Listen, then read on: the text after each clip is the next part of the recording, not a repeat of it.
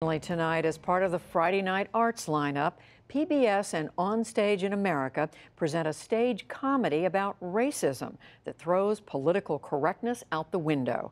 Hari Sreenivasan recently sat down with the play's author, Greg Kalleres. Tonight on PBS, a performance that takes a look at racism through the lens of marketing and commercialism.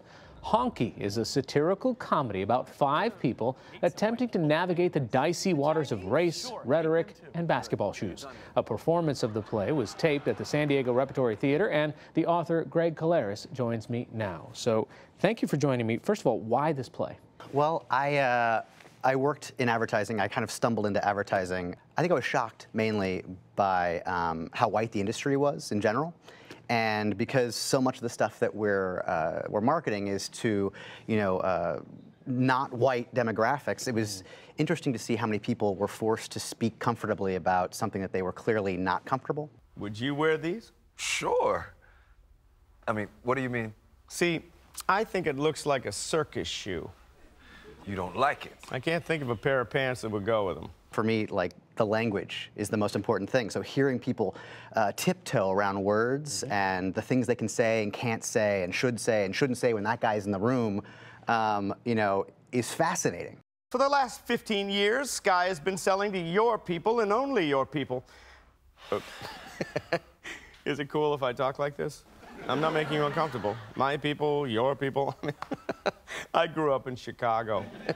the point is, these are facts. There's a black man struggling with the tension of selling basketball shoes to young urban demographics. There's a white guy who has problems with the words that he used and what sort of consequences they could have had. I mean, there's so many people dealing with guilt of their racial identity in America today on so many different levels. These two characters specifically, uh, Thomas is the uh, black shoe designer, and he grew up in a really uh, rich white neighborhood. And I think he has a lot of conflict about that because, you know, there's so much around the idea of being black enough.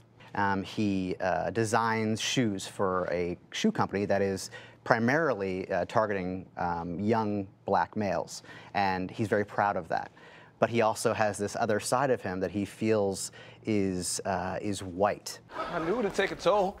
Growing up around all those rich white people takes a toll. It takes a toll. Okay. I knew eventually I'd be getting bent over by Clay Aiken, Coldplay, Downton Abbey. I'd wake up in a cold sweat, needing to buy some $600 Nottingham wall sconce from Pottery Barn. You said that sconce gave your place a nice classic feel. You're damn right it's a nice classic feel. And it's an elegant way to disguise the lack of furniture in that part of the room, but you're missing the point. And that is? This is not what black people talk about. And there's Peter, who is the copywriter.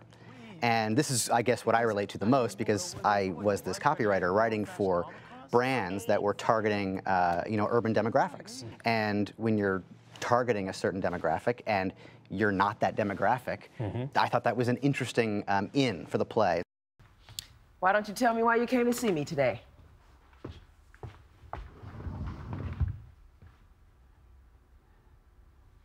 A kid was murdered for a pair of shoes. And I think it's because of the commercial I wrote. Sky Shoes. You wrote that ad? Something now? Not too much. How are you? There's also this idea that there is no more derogatory a term for white people than racist. It just triggers all kinds of responses. I couldn't think of a word um, that insults white people the way that the N word or other slurs insult people of color. And we, there really isn't one, um, which is why the play is called honky, because it's such a benign comical term. If that's the worst you can do. If that's right. the worst you can do is honky. I mean, I haven't heard that used with sincerity since like a Clint Eastwood, you know, uh, Dirty Harry movie, I think. The idea of being a racist, I think for white people, is about the closest you get to making them scared or offended or upset. I run an urban shoe company. urban? It's a euphemism for African American. Uh, the point is, I spend a lot of time with African Americans. I know the African American culture and sell to the African American a product. You don't have to say African American every time, Mr. Taliesin. You can simply use urban. I was going to say a pronoun. Oh. I sell basketball shoes to them. Well, now the pronoun's offensive. My overall point is uh, I don't think I'm a racist. of course you don't. It's precisely why you are one. Do you understand? No. And they will often lose sleep over the fact that I'm not racist. I, I didn't say anything racist. Did I say something racist? No, no, no, I'm not racist. I said what I said was, and there's a lot of backstepping and you know digging more graves for themselves as they continue to constantly, you know, obviously uh, uh, attempt well-meaningly to say the right thing and often failing. Getting married soon. Congratulations. Thank you. She's very white.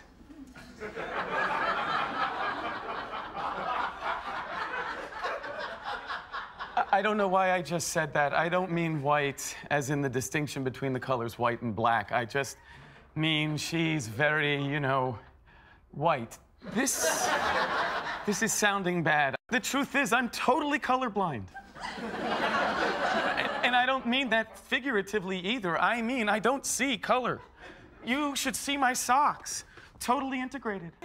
I think the humor in the play comes from the attempt to never be called one, um, and all the efforts we make for people never to say you're a racist or think you're a racist. One of the other threads that you pull on in this is the, the commercialization of racial identity in America. You use a product, a, basketball shoe specifically. There's this tension on what keeps something real, what makes something sold out. You know, when does that crossover happen? Cultural appropriation has been going on forever. It's part of what America is about. right? Absolutely. We take everything from everyone and make something new out of it. Yeah, because because it's authentic, and then we sort of de-authenticate it.